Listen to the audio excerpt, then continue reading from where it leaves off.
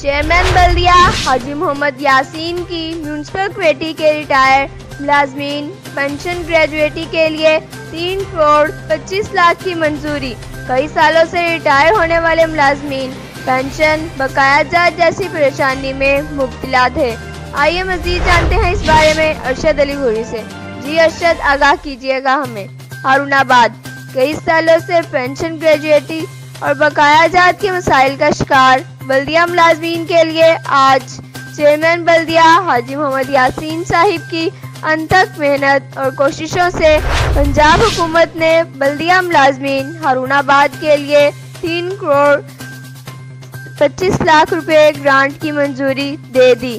Chairman بلدیہ حاجی محمد یاسین صاحب نے بدست خود جناح حال میں ملازمین کے حوالے سے ہونے والی تقریب میں پینشن اور بقایا جات رہنے والی رقم کے چیک تقسیم کیے۔ اس موقع پر چیئرمین بلدیہ حاجی محمد یاسین صاحب نے میڈیا سے گفتگو کرتے ہوئے کہا کہ ریٹائر ہونے والے ملازمین جن مشکلات کا شکار تھے، ہمیں اس کا بخوبی اندازہ تھا۔ اس لیے ہم نے دن رات محنت کر کے اتنی بڑی رقم یعنی تین کروڑ پچیس لاکھ کی منظوری وزیر اعلیٰ پنجاب سے کروائی ہے۔ میرا دل ملازمین کے ساتھ دھڑکتا ہے۔ ریٹائر ملازمین کا آج درینہ مطالبہ حل ہونے پر دلی خوشی محسوس کر رہا ہوں۔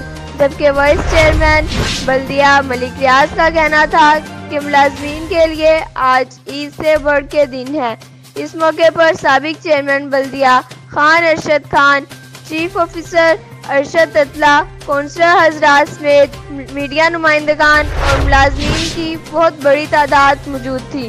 اور ریٹائر ملازمین نے چیئرمین بلدیہ حاجی یاسین کا شکریہ ادا کیا۔ ارشد علی گوری